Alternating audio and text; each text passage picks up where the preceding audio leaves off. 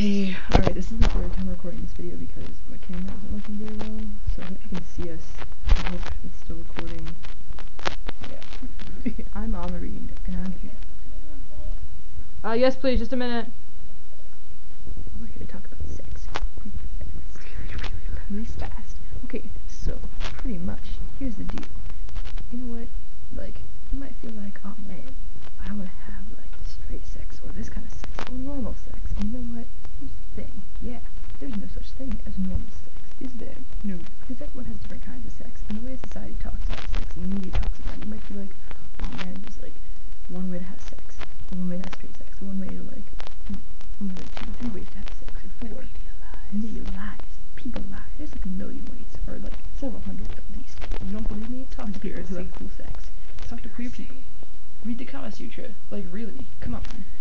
Like look at look at interesting porn. I don't know. Like there's a lot of ways to have sex. There are books on it. So many. And also there are ways that aren't in books.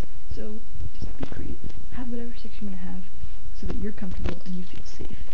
Right? Basic intro. Yeah, definitely. This is my girlfriend Mallory, by the way. you can see her beautiful face. She has one. Some people I know were concerned about her lack of face in previous videos and thought that there was no way I could ever have a girlfriend with a face. But I do. So look at that. Whoa, that happened. We've been together. We've been together two and a half, two point five years. We sparkly jazz hands. Mallory says it's more like centuries because she thinks we're mythical beings, but not really. That so was we're not my reasoning for that. Oh, okay.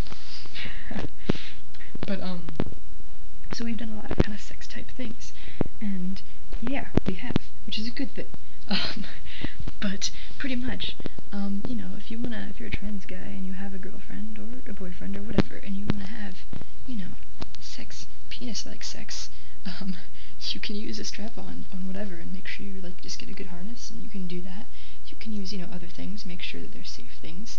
Um, uh, make sure that you still use, you know, protective sort of stuff because that's good to prevent you from getting STDs or from, you know, using dirty things on people, which is never a good idea.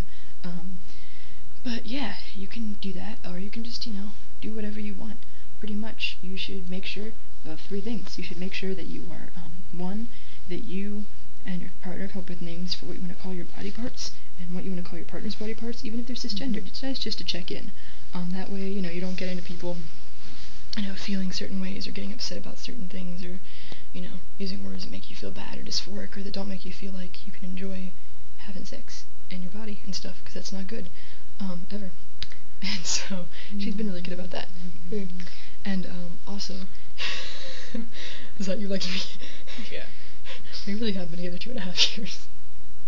Aw. Um, and let's see, what was the other one?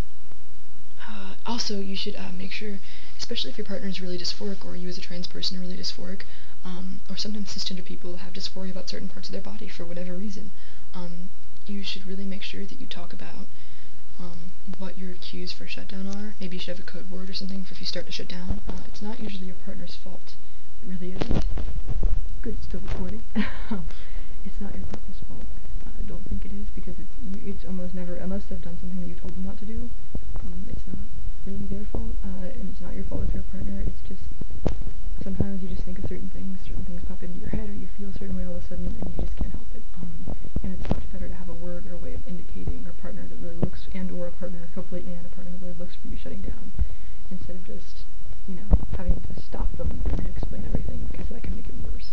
Um, you may also think about, if you're someone like me who has a lot of physical dysphoria, um, and some of that comes out during sexy times, you may want to think about, um, you know, what comfort, you know, wearing clothes during certain times, or, you know, coming up with a number system or code or something of like, when I say this, or when I do this, this means that I'm only comfortable going this far, or I only want to do these things, or that's all I'm interested in.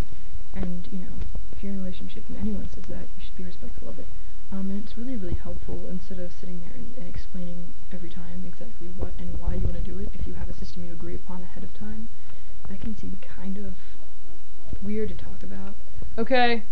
beforehand, but it's really, it's really, like it's really useful. So I would recommend it. Um, well, also really fast, uh, different people's sexualities uh, and identities. Also, um, just because somebody identifies a certain way really doesn't mean you need to have a certain kind of sex. Uh, I was glad to see Max's girlfriend is on the channel uh, and talked about she, she identifies as a lesbian, but obviously is with a guy, um, and that's fine as long as you're respectful of the person you're with. You can identify however you want. Tyler identifies as pansexual for a lot of reasons, um, but not just not because I'm trans. It's not really about that. It's, I mean, it doesn't make me less of a guy because she identif- doesn't identify as exactly straight, right? No, know. So, you know, I identify as queer, and that doesn't mean I'm into. I don't know, whatever. It doesn't make you less of a woman. So, however you want to identify, it's cool. Yeah. Uh, what was I gonna say? Oh, uh, I think uh, there's a really cool pamphlet that I and another guy wrote on this topic, and I will. It's you should just read that. Really, um, it says what I'm saying much better, and it says other cool stuff too. So you should check it out. I'll put in a link down at the bottom. And uh, hope the camera work wasn't too shoddy with me trying to on my bed with my girlfriend.